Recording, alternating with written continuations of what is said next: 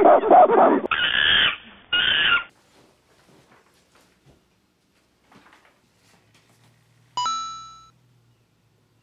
are one handsome son of a bitch. ERod, I am the guardian known as Zordon.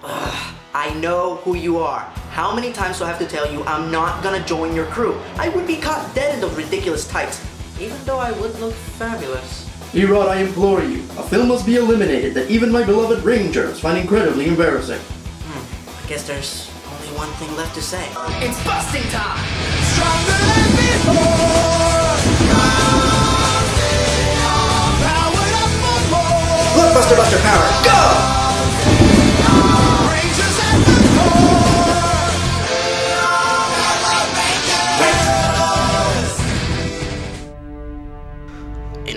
World of uncertainty, where movie theaters are plagued by remakes and sequels, in a world where big budget movies can still suck, in this world we have the Blockbuster Buster.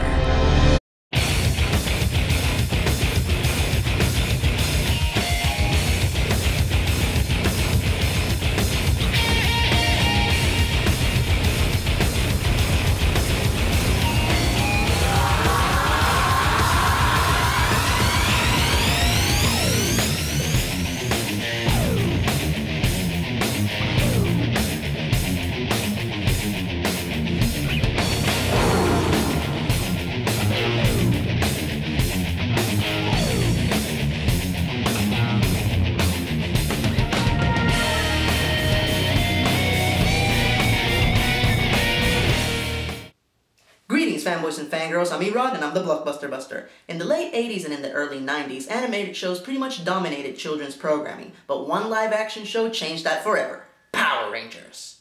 Now, just to reiterate, I was not a big Power Rangers fan. I've always been a Ninja Turtles guy. With that said, I did watch Power Rangers on a regular basis. In fact, I watched all the Mighty Morphin seasons and the first movie. But once they went Zeo, I pretty much gave it up. Power Rangers follow the adventures of five teenagers with attitude chosen by an otherworldly being to protect the Earth. We're the Planeteers! No, no, no, no, not them. The Power Rangers disguise themselves in colorful tights and motorcycle helmets. Gotcha! No, not them. The Power Rangers were completely different. They had giant animal mechs and they would combine to form a giant robot. So this show wasn't very original. In fact, 40% of every episode used footage taken from Japanese Sentai shows. Go figure.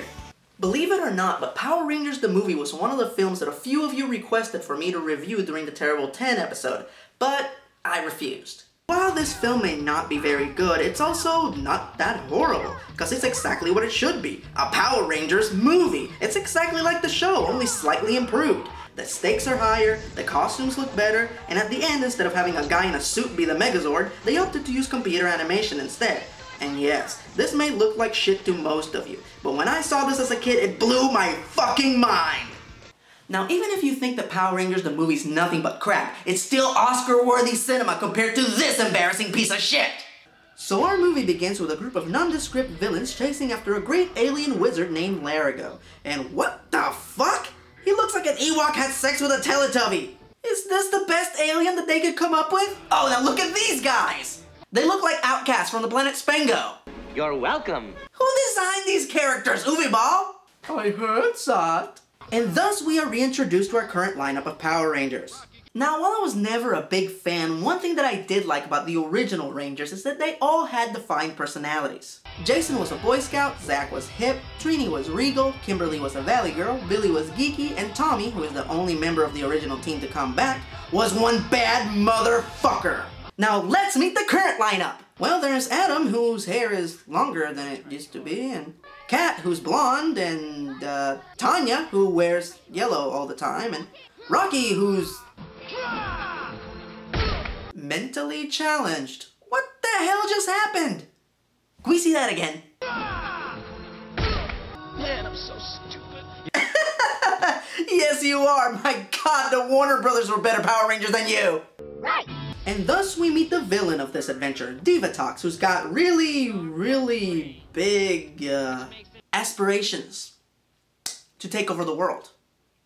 They're huge.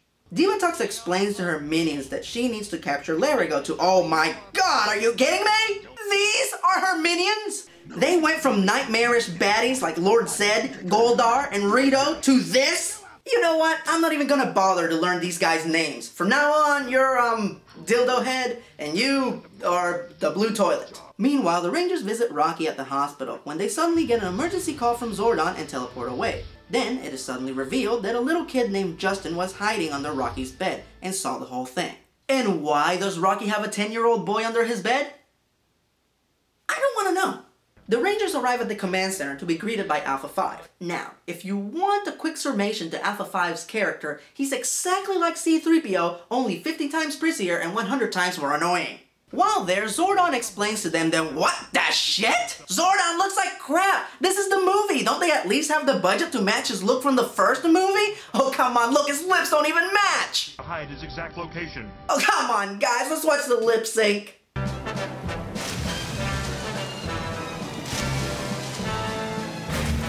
Basically, Diva Divatox wants to capture Lerigot so she can use his powers to go to a forbidden island and release an evil being named Maligore, so she can use his powers to take over the world. Everybody got that? So Zordon sends Kat the Blonde and Tommy the Badass to find Lerigot, and they- wait, wait, they have a tracking device. If you have a tracking device, couldn't you just teleport to Lerigot's location? Guys, teleport. Just, just go ahead and teleport to where he is. It'll save you a walk. Ah, fuck it. So Kat gets attacked by a snake. But it's okay, Tommy saves her by throwing her off a cliff. Jeez, did you take rescue lessons from Captain Whiny Pants? Luckily, Kat actually remembers that she's a fucking Power Ranger and morphs, and what the shit? The water stopped her from morphing? Why? You know what? I would usually be more upset about the lack of exposition in this scene. But luckily, Tommy goes on to save this scene, all the while reminding us why he's the only true Power Ranger in this movie.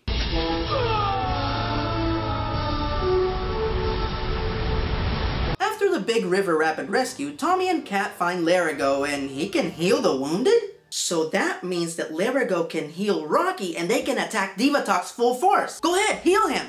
You know, the poor guy's back is probably killing him. You're not gonna heal him, are you? You are such an asshole. Divatox is not pleased that the Power Rangers interfered with her nefarious plans, so she kidnaps two random divers? Why would the Power Rangers care about two random divers? Do what I say lights out for Oh my god, it's Jason! Jason was the original Red Ranger and one of my all-time favorite characters. I wonder who the second diver is. Just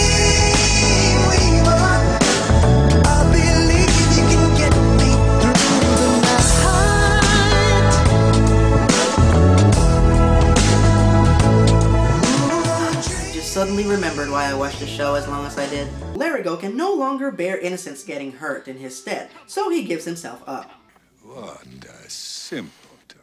So after 37 minutes of movie, our heroes finally decide to get off their asses and morph into the Power Rangers. When Zordon suddenly announces that he's giving them new powers and new Zords.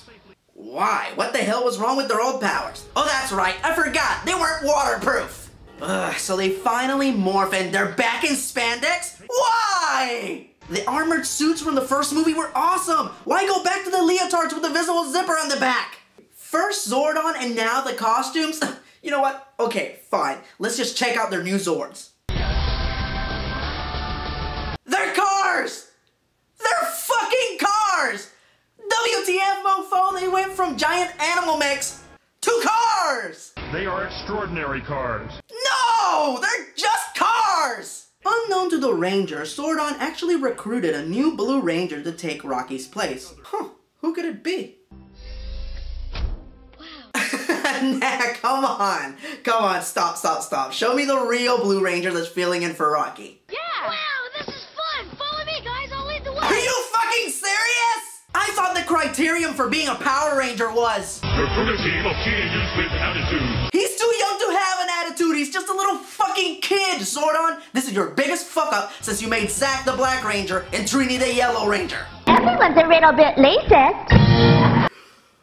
Alright, fuck it. Just teleport to the island so you can fight Divatox and save the day. So, let me see if I got this straight. The Power Rangers, who have the technology to teleport anywhere they want in the world, plus they each pilot their own giant flying mech, need to ride on a rickety old boat to get to this island. Fine, I'll go with it. I'm on a boat. I'm on a boat. Everybody look at me cause I'm sailing on a boat. I'm on a boat. I'm on a boat. Take a good hard look at the motherfucking boat.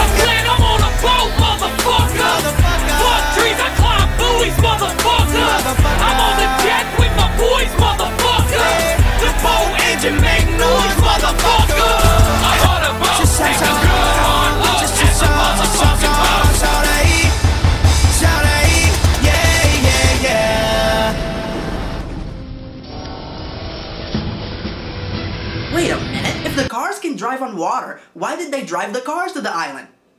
Why do I even care? Meanwhile, Divatox is worried that she can't handle the Rangers, so she decides to call for help. I need your advice. How do I get rid of the Power Rangers? Stop calling me you crazy bitch. So in the process of resurrecting Maligore, Kimberly and Jason are turned evil. And in one of the few enjoyable scenes in this movie, Kimberly and Jason then proceed to beat the god-living shit out of the Power Rangers. Sometimes Jason's gotta choke a bitch. Kimberly and Jason are changed back to normal thanks to the power of friendship or some bullshit. And the Rangers take on Maligore with their new weapons. A sword, a laser bow, a cannon, twin guns, defibrillators? I don't know. And what do their new weapons do? Nothing! Absolutely nothing! Maligore walks away unscathed and in typical Power Rangers fashion grows to Godzilla size. Okay, it's time for the Power Rangers to put their Zords together and form the Turbo Zord. And I promise to be lenient as long as it's not a guy in a suit! And yes, I know that the original Megazord was also a guy in a suit, but at least that one had a cool design. This one looks like a third-rate mascot for a college football team. So Maligore forgets how to fight, the Power Rangers do their one and only signature move, and Maligore's dead. The end.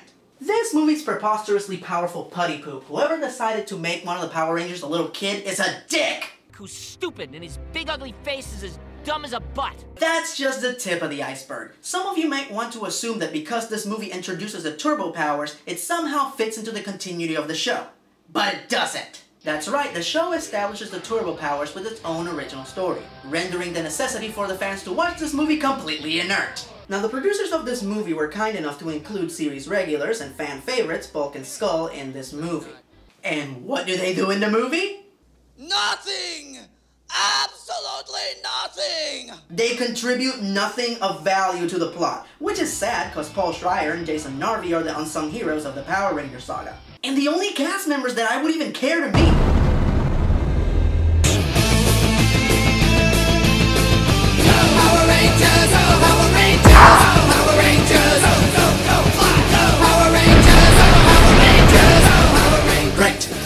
One busted, thousands more to go. I'm ERod, I'm the Blockbuster Buster. No